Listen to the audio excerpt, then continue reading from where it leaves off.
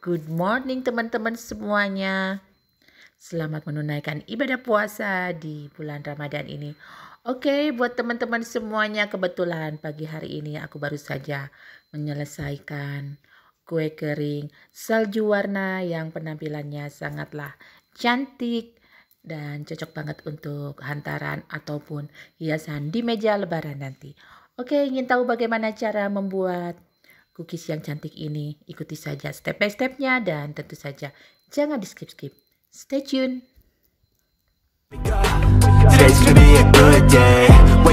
Kue keringnya sudah aku siapkan dan sudah aku campurkan semuanya menjadi satu kesatuan ke dalam mangkuk seperti ini. Dan di sini sudah ada margarin, wisman, kemudian ada telur. Aku menggunakan tiga kuning telur, kemudian ada gula halus, vanila, dan garam.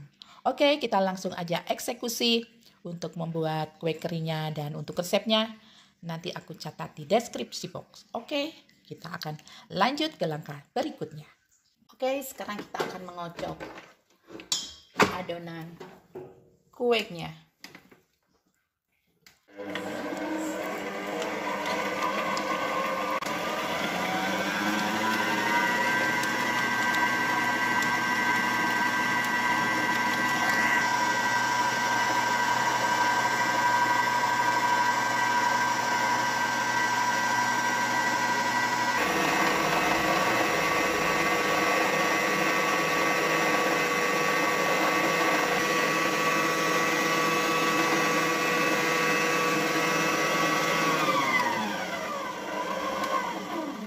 Oke, ini sudah tercampur rata dan kemudian kita akan membersihkan mixernya.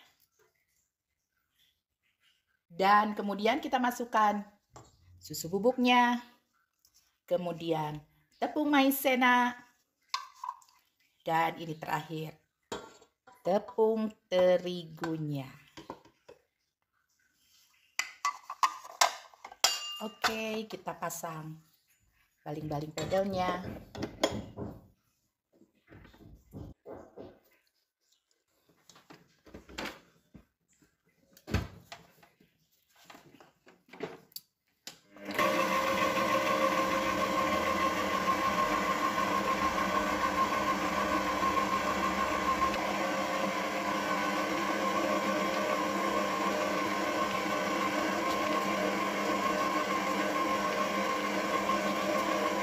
Nah ini sudah tercampur rata. Kemudian kita akan matikan mixernya. Dan siap untuk dicetak. Nah ini aku sedang mencetak adonannya. Dan aku ambil dengan menggunakan sendok ukur seperti ini. Biar besarnya sama. Dan lakukan semuanya sampai ya. ditakar. Seperti ini kemudian kita ambil satu adonan, kemudian kita akan bentuk memanjang seperti ini. Kita letakkan di atas loyangnya.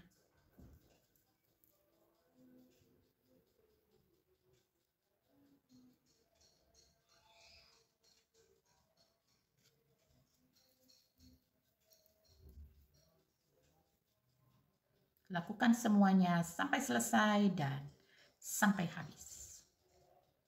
Sudah selesai cookiesnya dicetak dan kemudian kita akan memanggangnya. Oke, kita akan memanggang cookiesnya dengan temperatur 150 derajat Celcius dengan memakai api atas dan bawah selama 20 sampai 25 menit. Oke.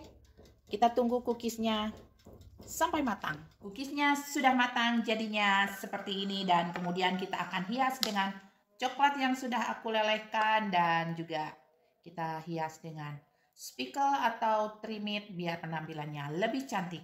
Oke, kita akan langsung aja menghias cookiesnya.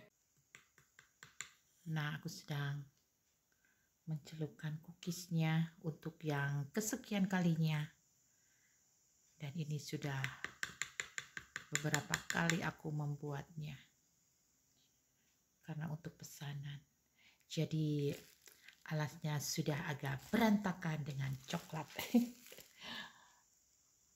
Nah, kemudian kita taburi dengan speckle seperti ini.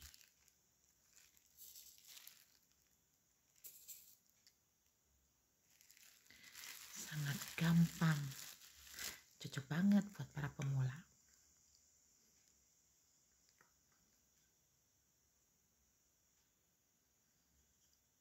Nah, tinggal menyiapkan coklat yang dilelehkan dan dengan dihias dengan speaker. Dicelup-celup ditabur-tabur udah selesai. Nah seperti ini.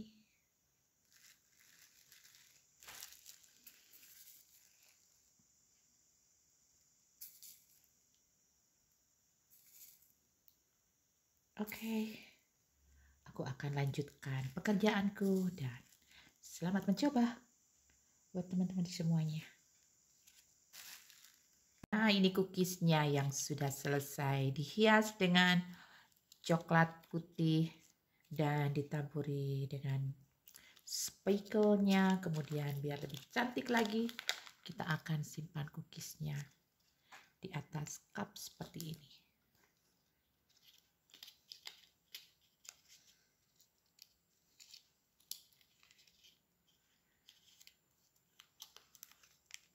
Oke. Jadi lebih cantik deh penampilan cookiesnya dan setelah selesai kita akan kemas ke dalam toples biar lebih menarik lagi. Oke lucu unyu-unyu. Hmm, siapa yang tidak tergoda dengan cookies yang sangat cantik ini? Apalagi rasanya enak. banget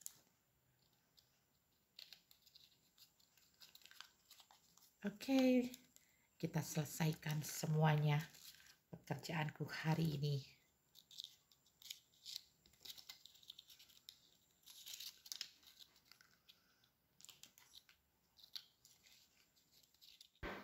Akhirnya selesai sudah pekerjaanku sore hari ini.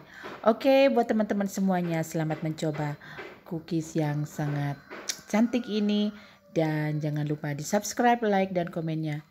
Jangan lupa juga nyalakan tanda loncengnya. Oke, okay, see you next video. Bye.